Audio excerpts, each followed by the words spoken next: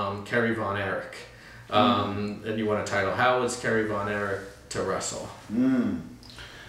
Uh, uh, not like my style, the different styles. Yeah. But you know, uh, that could tough too. You know. Was it easy to adjust to his style, or was it hard to Hard, yeah, adjust? very hard to. Build up